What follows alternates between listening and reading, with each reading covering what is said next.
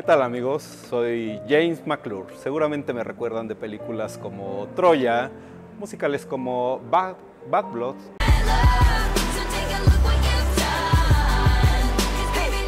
o incluso algunas novelas como Mariela del Barrio y por supuesto también en esos videos de Acércate a Iser como El Día del Niño.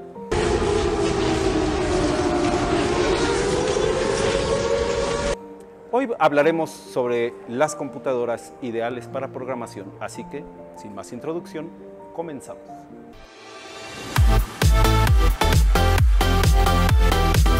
Hola, mi queridísimo Pato, ¿por qué ese outfit? Porque estamos en la era digital, James. Vamos a Ah, programar, bien. tenemos que tomarnos esto muy en serio.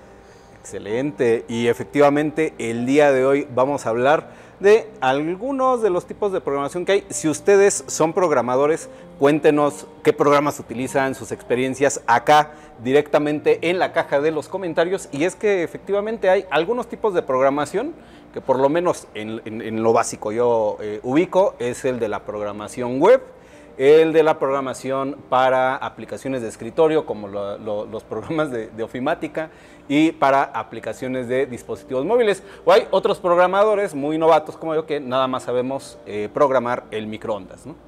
Para palomitas y ya.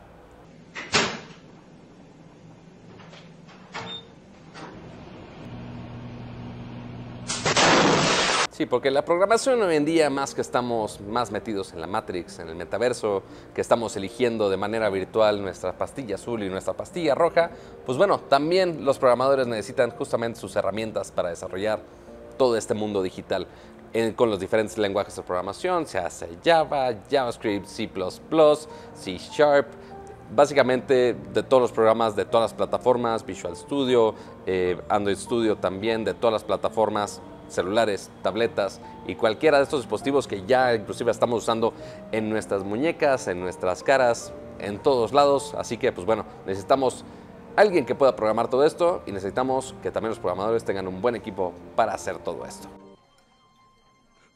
Nadie se ha preocupado tanto por mí. Oye, Pato, te veo muy serio, mira. Este, ¿Tú sabías que yo sé Java? ¿Qué sabes de Java, James? Por ejemplo, Ichi Agua Chua significa yo estoy contento.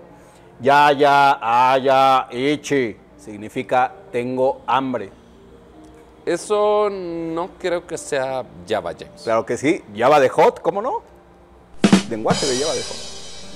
Pero bueno, si entramos ya a temas de lenguajes de programación un poco más en serio, aquí van algunas recomendaciones si eres programador y necesitas un nuevo equipo de cómputo.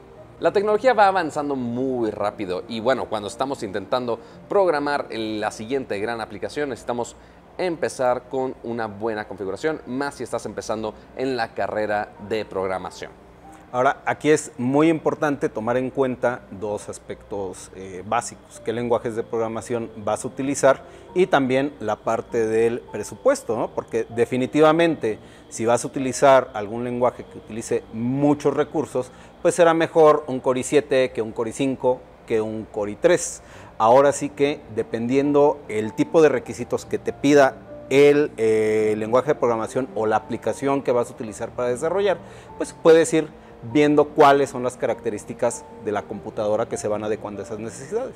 Que bueno, ya empezando con quizá tu primer Hello World o las primeras aplicaciones que estés desarrollando, quizá con 8 GB de RAM estás bastante bien, pero si ya vas a estar procesando información un poco más pesada, quizá ya con 16 GB de RAM ya cuando estás empezando a emular diferentes ecosistemas, si estás haciendo tu emulación de Android Studio, por ejemplo, ya para aplicaciones móviles, con 16 GB de RAM estás más que cubierto para que pueda funcionar bien tu programa. Oye, yo te sigo viendo muy serio, Pato. Te voy a contar un chiste de informática. ¿Te parece muy bien? A ver si, a ver si te saco una sonrisita en este, en este video de Acércate a Acer. Le decía, ok, suficiente, suficiente. Porque la laptop rompió con un disco duro que estaba saliendo.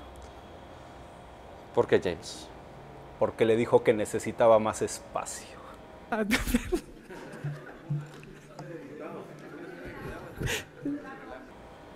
No, ni así, oye. Creo que necesito más espacio entre estos sillones. Pero bueno, ya después de este pequeño bloque de chistes malos, que normalmente es mi sección, pero en este tipo de temas esto es cosa seria, amigos. Pues bueno, cuando estamos empezando en el mundo de la programación, tenemos que elegir cuál es la computadora indicada para nosotros. Y bueno, cuando estamos empezando, principalmente algunos desarrollos web, algunos sitios sencillos sin tanto procesamiento de gráficos, pues bueno, puedes empezar con algo sencillo, quizá alguna computadora con, justo como comentabas, un i3, un i5, que sea suficiente para soportar este tipo de programación y puedas empezar tus clases y tu mundo, tu exploración al mundo de la Matrix, que sea bien cómodo. Exacto, y por ejemplo, si vas a desarrollar algunas apps que requieran el uso de la pantalla táctil, pues por ahí tenemos y hemos ya reseñado en este canal, pueden revisar la lista de videos, la Spin 3 que se convierte a 360 grados, tiene pantalla táctil. Si como dice Pato, vas iniciando en el mundo de la programación, precisamente en la línea Aspire 5 vas a encontrar diferentes configuraciones que seguramente se van a acomodar tanto en la parte de presupuesto, y características para que comiences en ese maravilloso mundo de la creación de páginas web, apps y todo lo que tiene que ver con la actualidad en el desarrollo de aplicaciones. Pero bueno, estas son algunas recomendaciones para empezar en el mundo de la programación, ya dependiendo cuál es el nivel o cuál es el proyecto que quieren desarrollar, pues bueno, ustedes pueden elegir cuál es la computadora ideal para ustedes, ¿no, James? Efectivamente, y por ello les recomendamos que visiten tu promo acer.com, en donde seguramente encontrarás la configuración ideal para desarrollar el videojuego más exitoso o esa aplicación móvil innovadora. Además, recuerden que todas las computadoras portátiles Acer incluyen un año de seguro contra robo y desastres naturales. Estamos dándoles esta protección porque los queremos mucho. Sí, porque aparte de nuestra programación nos puede proteger en el mundo virtual, pero Sí, ya en el mundo físico, pues bueno, esas protecciones también son bastante útiles. Recuerden que si les gustó este video, dejen su manita arriba y suscríbanse al canal activando esa campana de notificaciones para que se enteren de cada que subimos nuevo video. Por esta parte, eso es todo y nos vemos en el próximo video de esto que es Acércate, a Acer.